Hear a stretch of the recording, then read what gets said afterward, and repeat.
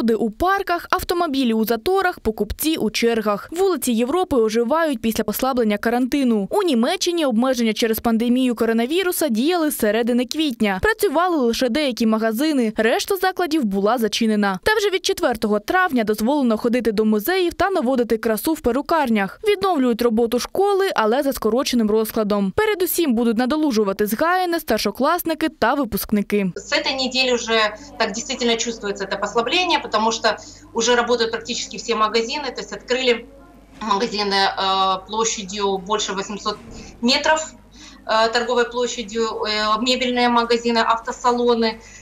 Единственное, что с открытием ввели закрытие, то есть всех теперь обязали носить маски.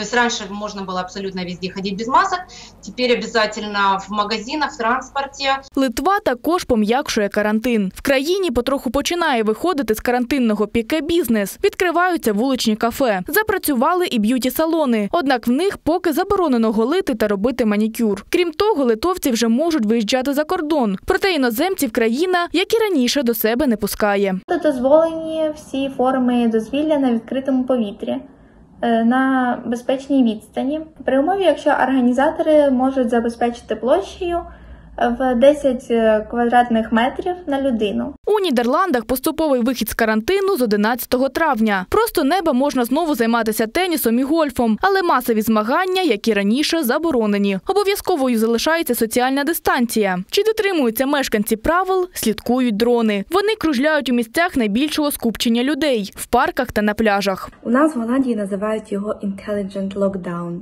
що означає, що карантин не дуже суворий. Спочатку карантин був до 28 квітня, але після цього уряд продовжив його до 29 травня.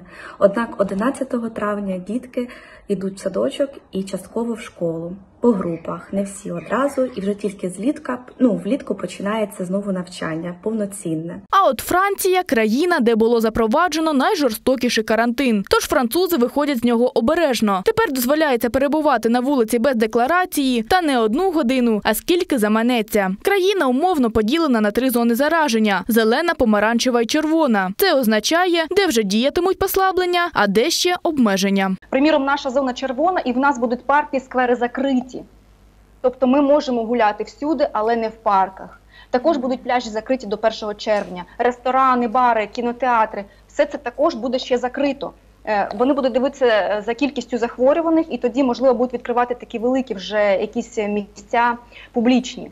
Ось так у Сінгапурі скупчення в парках контролює робот Пес. Він просить зробити місто здоровим, а бігунам та велосипедистам нагадує тримати дистанцію. В Амстердамі відвідувачі ресторану обідують у спеціальних теплицях, а офіціанти, аби уникнути контакту з клієнтами, виносять їжу на довгих дощечках. А в китайській провінції Хунань учнів перед школою дезінфікують з ніг до голови. Карантин, викликаний коронавірусом, однозначно увійде в історію. Пандемія стала не тільки найбільш обговорюваною темою, а й відкрила для людей нові можливості, стала стимулом для креативних ідей. Дар'я Пшенична, Євген Коденцов, Open News, телеканал відкритий.